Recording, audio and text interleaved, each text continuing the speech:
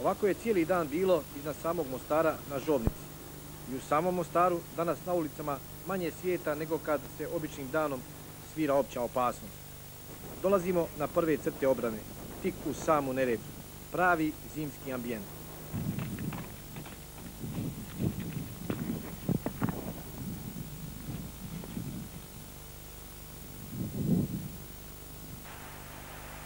Ima je ovdje bunker kod helikoptera.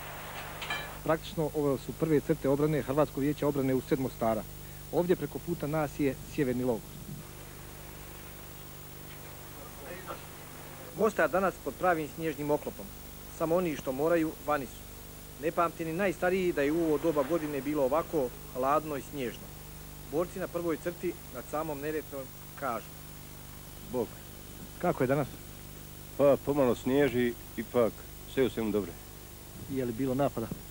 Pa pomalo provociraju i tako mi uzvratimo i... Pa evo malo puša, ali dobro je.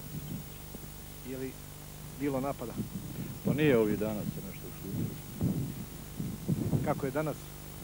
Pa danas malo puše, valjda i njima puše, pa, je, pa su se i oni negdje zavukli u rupe. Budnost mora unatoč svemu biti stalna. Ovdje su kuće uz Neretvu i rovovi i domovi. Mećava danas, pa snajperi mirni. Kako je? A evo, zima. Je li bilo napada? Pa snajperom tuku po noćima.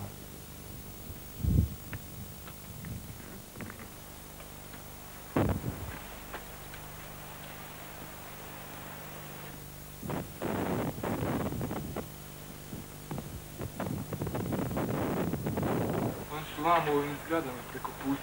Ne vidi se odakle.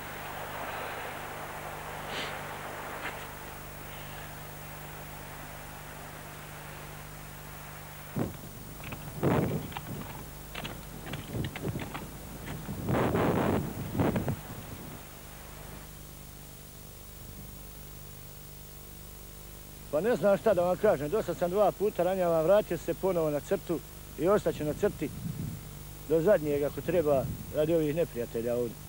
Kako? Pa malo je zafrkano, nismo navikli, mi starci na to, ali dobro je. Na ovim crtama ovdje na otvorenom nad hladnom Neretvom može se samo kratko izdržati, a onda u kuću malo se ogrijati do naredne smjene. Tako protiče ovaj dan u Mostaru, mirno, toliko mirno da danas nije zamislite izdato nikakvo priopćenje. I noć je nad Mostarom prava zimska,